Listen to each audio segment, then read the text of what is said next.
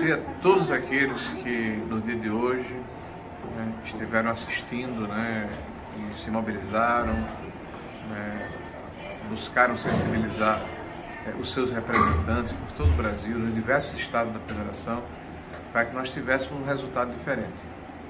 Felizmente, né, nós vimos que é, há uma continuidade dessa administração é, que, está, que havia terminado e nós esperamos sinceramente né, que a pauta que nós apresentamos e que aparentemente foi incorporada pelo nosso adversário no seu discurso no dia de hoje, possa ser colocada em prática.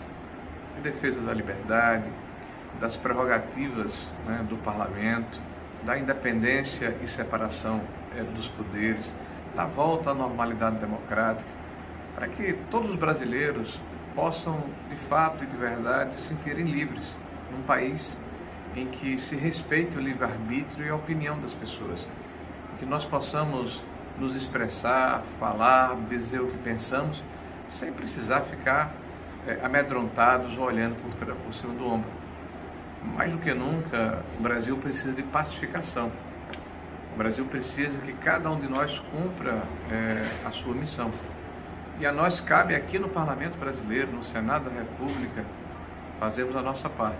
Fiscalizarmos esse governo, de acompanharmos as ações é, que serão empreendidas, de defender e fortalecer esse legado que foi deixado pelo governo do presidente Bolsonaro, até pelo presidente Temer, defender valores que são caros à família brasileira, valores que fazem com que nós sejamos o que nós somos, pessoas que creem em Deus, pessoas que respeitam é, a sua família, pessoas que querem é um Brasil próspero, um Brasil mais igual, um Brasil em que as pessoas possam empreender, edificar, construir, construir os seus lares, as suas famílias, cuidarem das suas vidas livremente.